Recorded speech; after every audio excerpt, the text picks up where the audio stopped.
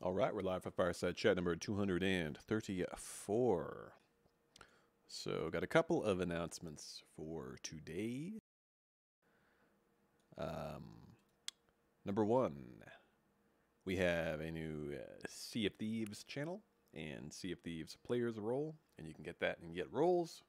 That is all set up. So, if you play that game or interested, check it out. Number two, um, just a heads up if you're interested in the clan's uh, history or lore, um, there's a few channels you can check out. So see announcements. I just announced this as well. Um, but the About WA channel is a good place to start. Has a lot of information on just how WA works currently, or organization. Um, you know how things like houses and families work, all the different houses and families and special forces units that currently exist in the clan, uh, and so on. Um, but you can also check out the library channel. Um, there's the library category, and under that, there's the library channel and also the Dane and New Edda channels. Dane and New Edda are the kind of songs and stories and lore of the clan, basically, whereas library is more history. So there's a lot of old charts in there, old artwork, uh, coats of arms, um, information um, on different organizations that have existed in the past in WA, information on the Einherjar, etc. So if you're interested in any of that kind of stuff, do check it out. Um, I've been kind of on the subject because um, shout out to Bassivald has been doing a ton of work um, digging up lineage, and we are currently working on expanding, heavily expanding the WA lineage record which is essentially just a spreadsheet where we try to list um, basic information about every WA member that has ever been in the clan. It's probably an unrealistic goal, but we're hoping to have at least a lot of members on there, um, so it can be useful for uh, reference and just record keeping purposes. Um, mostly the information we're looking at is um, their name, any other names they went by, their house, their family, um, their recruitment date, if possible, their recruiter and um, their highest known rank uh, for the most part. I think I think Bicycle's actually been gathering information on the divisions they were a part of at some point too. So that might be something we add. We'll see. Um, don't want to make things get out of hand too complicated, but that's kind of a cool project that we have been uh, working on. As part of that, we put together a rank translation guide as well, which basically lists all the known ranks throughout WA history that have existed and tries to kind of align them such that, okay, you know, Fleet Admiral, equivalent to Emperor, equivalent to High King, uh, and so on, um, going all the way down the ranks. Um, you know, not all of them line up perfectly, but it gives you a rough idea. So that's a cool project we've been working on. Um, other than that, um, so I'm planning on kind of making some announcements just to kind of plug things on the server in the future as well.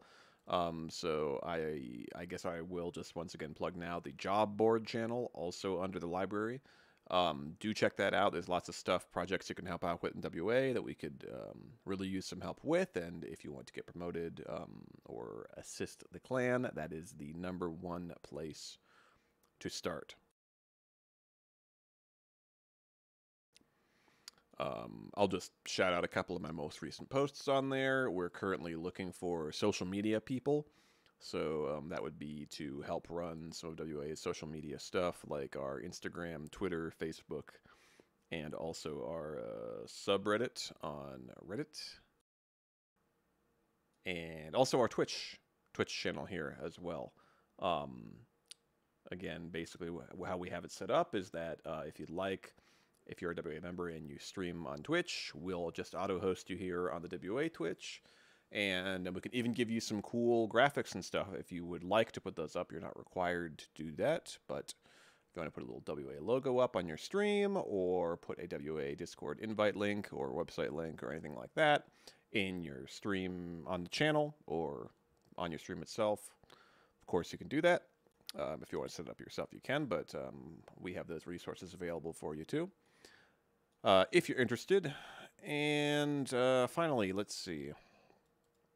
Um, I will just remind everyone that Silva is currently looking for staff, particularly for um, her her duties as uh, Commodore. Um, primarily, the new ones being contacting guests and reservists about either joining the clan or returning to active duty, and also contacting enlisted members. Basically, you know, if they're inactive, trying to kind of, you know, see what's going on and try to get them to pro- get promoted um, by providing them with information on like, okay, what do you have to do to get to the next rank? Here's what you have to do um, all that kind of stuff. So um, if you're interested in any of that, we could definitely use help um, with that. So contact Asilva for that. Um, let's see. Some of this stuff I'm going to put in future announcements as well, but I'll just kind of give a spoiler for those listening to the uh, fireside.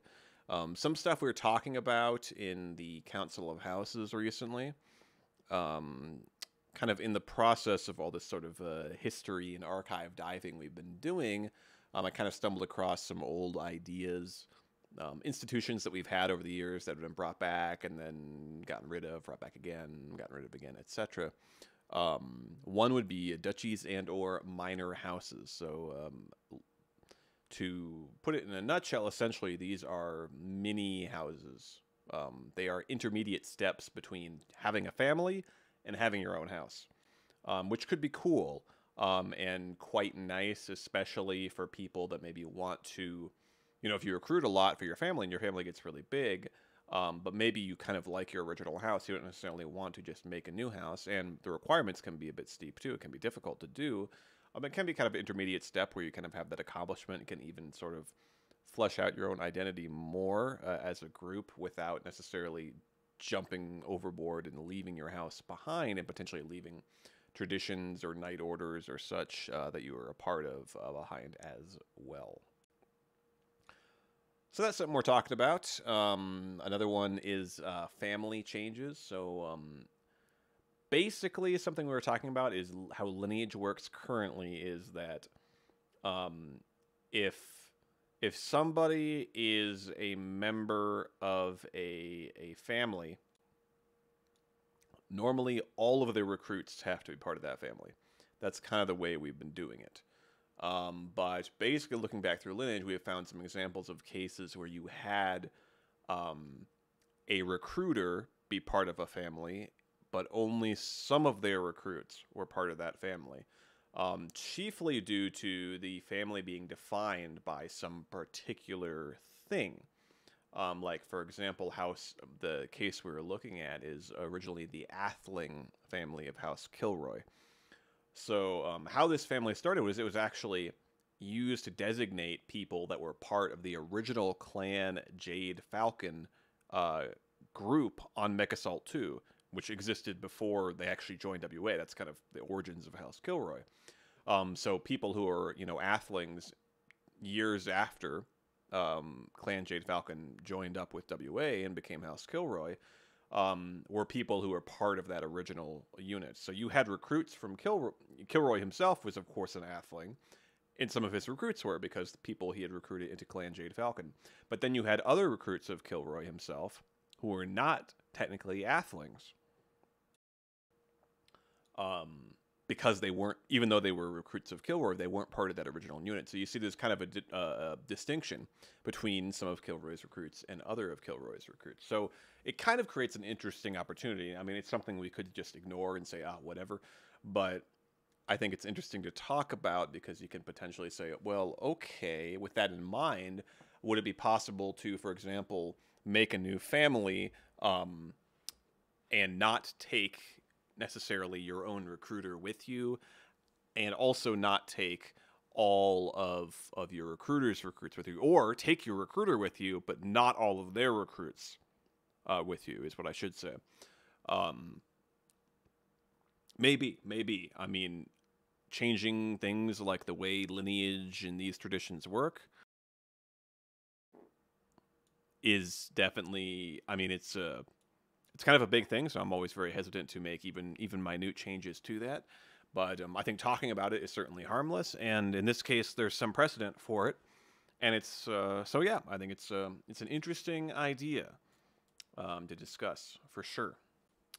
And uh, finally, another one is um, basically this idea of what we'd call an honor system um, for both individual members, but also houses and families. So basically, how this would work is it's basically points, more or less. Honor is kind of a currency that you would get. Now, maybe we could merge this with the Yarna system we already have. Maybe not, maybe have it be separate. But the idea being that this would lend a little bit more purpose to houses and families beyond just kind of cool lineage. Um, how so? How would you earn these points? Basically, there's kind of a couple options. One option would be that for getting a recruit or getting a promotion, um, or maybe uh, attending an event or submitting a sit rep, a report, or uh, performing a duty, things like that would maybe get you points, and maybe getting in trouble would lose you points. Um, would honor um, would get you honor or lose you honor essentially. Um, so that's an interesting idea. Um, another option. The, the downside of that is, as I've told the Council of Houses, that that would require a massive amount of tracking. I mean, we're talking about tracking every single person attending every event, performing a duty. Anytime somebody does something like that, we have to have somebody that notes it down, keeps track of all of that happening, and puts it all together um, by constantly updating the honor values and such. We could try to do some kind of bot integration, but at some level, you're going to need um, people actually uh, uh, doing that. You know, somebody is actually going to need to be behind the wheel. So, um, pros and cons to that.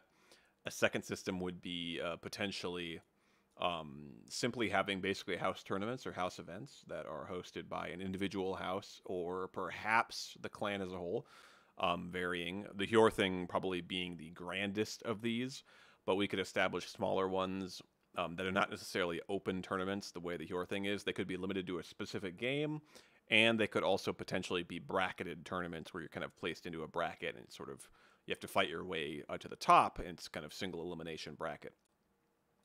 And essentially, winning those or getting victories or even participating might earn you uh, honor in that way. And that would be a lot easier to track um, and would be kind of cool because you could hold events that would also even count as events on a specific game, too uh, for the traditional chain of command and platoons and such, uh, which could be cool. Um, also, the idea with honor is um, there would be a sort of you would have your personal honor level, but also a family and house honor level, um, and it, we'd have to see potentially that could simply be the sum of everyone in that house's honor, or it could be that people have to sort of donate their honor to their house in order to increase it, and they kind of lose their personal honor but increase their houses as sort of a like you're depositing it into the bank or um, yeah donating it in that way so um, yeah that's kind of an interesting idea. Um, last thing is new youtube playlists are out. One of them is a fireside chat playlist that currently has all fireside chats in order from number one all the way through number 233 and 234 here will be added uh, after this. Um, and there's also a new WA uh, Viking, mostly metal uh, song playlist too. Um, so if you're interested in, if you're into that kind of music, um, do check that out. It's pretty small right now, but we're kind of adding to that uh, for fun. Uh, that should about do it though. So I'll be around for office hours uh, shortly.